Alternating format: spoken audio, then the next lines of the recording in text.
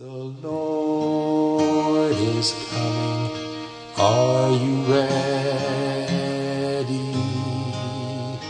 The Lord is coming.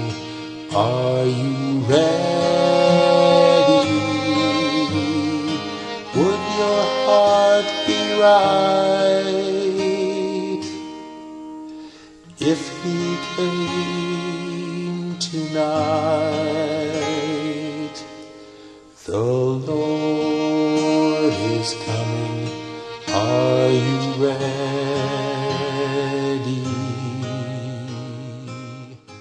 Siehe, das ist Gottes Lamm.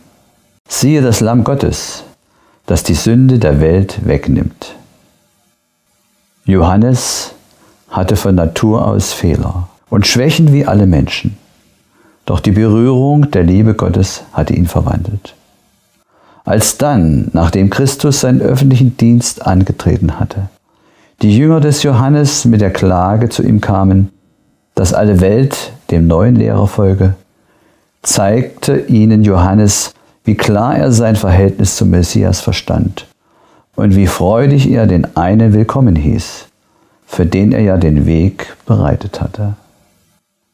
Ein Mensch kann nichts nehmen, sagt er, wenn es ihm nicht vom Himmel gegeben ist. Ihr selbst seid meine Zeugen, dass ich gesagt habe, ich bin nicht der Christus, sondern vor ihm hergesandt. Diese meine Freude ist nun erfüllt. Er muss wachsen, ich aber muss abnehmen. Indem er im Glauben zum Erlöser aufschaute, hatte Johannes den Höhepunkt der Selbstverleugnung erreicht. Er versuchte nicht, die Menschen zu sich zu ziehen. Er wollte ihre Gedanken höher und noch höher heben, bis sie bei dem Lamm Gottes verweilten. Er selbst war nur eine Stimme gewesen, ein Ruf in der Wüste. Nun akzeptiert er freudig, dass es um ihn still wurde und er in Vergessenheit geriet, wenn nur die Augen aller zum Licht des Lebens hingewandt waren. Menschen, die ihrer Berufung als Botschafter Gottes treu sind, werden keine Ehre für sich selber suchen.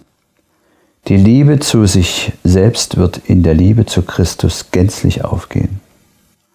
Sie werden erkennen, dass es ihre Aufgabe ist, wie Johannes der Täufer zu verkündigen. Siehe, das Lamm Gottes, das die Sünde der Welt wegnimmt. Sie werden Jesus erhöhen und mit ihm wird die Menschheit auf eine höhere Stufe gehoben. Die Seele des Propheten, aller Selbstsucht entleert, war mit dem Licht Gottes erfüllt. Er zeugte von der Herrlichkeit des Heilands. An dieser Herrlichkeit Christi sollen alle seine Nachfolger teilhaben. Wir können das himmlische Licht nur dann empfangen, wenn wir bereit sind, von unserem Ich loszulassen. Wir können den Charakter Gottes nur dann erkennen und Christus im Glauben annehmen, wenn wir damit einverstanden sind, jeden Gedanken dem Gehorsam Christi zu unterordnen.